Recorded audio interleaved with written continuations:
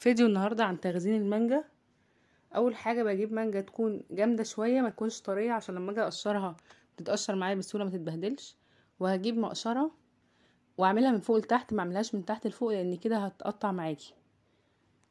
من فوق لتحت كده زي ما أنا بعملها بالظبط. المقشرة دي هتخلي أقل كمية مانجا تطلع معاكي أقل بكتير قوي ما تعمليها بسكينة. بص القشر طالع يعني يعتبر فاضي يعني. أكمل تقشير دي كانت منجايه مش مستوية كويس. لقيتها بيضة كده بعد ما قشرتها. هتقشري بقى كل الكمية ديت وهتجيبي أكياس تلاجة العادية. حبة هنقطعهم وحبة هنعملهم شرايح. اللي هيتقطعوا دولت عشان لو حبيتي تعملي كنافة بالمانجا أو أي حاجة ويكون موسم المانجا خلص هتطلعي كيس عادي وتسيبيه يفك وتعملي كنافة بالمانجا بتاعتك طول السنة.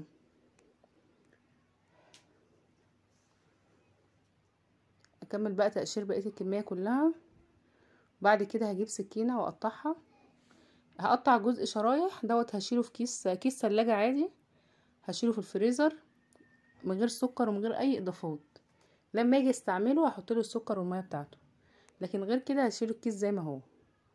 هعمل كيس مكعبات وكيس هحط اشيله شرايح عشان لو حبيت أعمله عصير في أي وقت. طبعا الطريقة دي بتاخد معاكي يعني جزء قليل قوي من الفريزر ما بتشغليش يعني جزء كبير فيه. لو انت عندك ديب فريزر وحابة تشيليها تشيليها بقى سليمة لو عندك مكان. بتشيلي المانجا زي ما هي بالظبط بتغسليها كويس وتنشفيها وتشيلها في في الديب فريزر وقت ما تكوني عايزاها بتطلعيها وتروحي مقشراها وهي لسه جامدة. وتسيبيها بقى هي تفك لوحدها. أول لما التلج بتاعها يروح هتبدأي تقطعيها برضو بمنتهى السهولة. هقطع بقى دي مكعبات كده.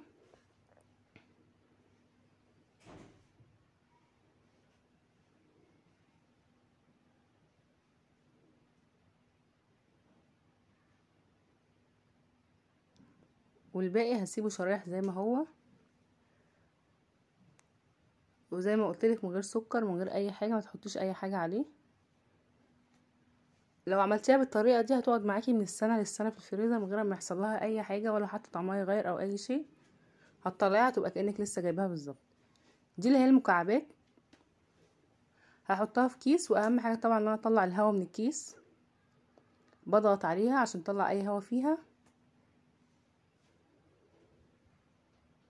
وبفرد الكيس كده الطريقة دي برضو هتخليه إن هو يفك معاكي بسرعة.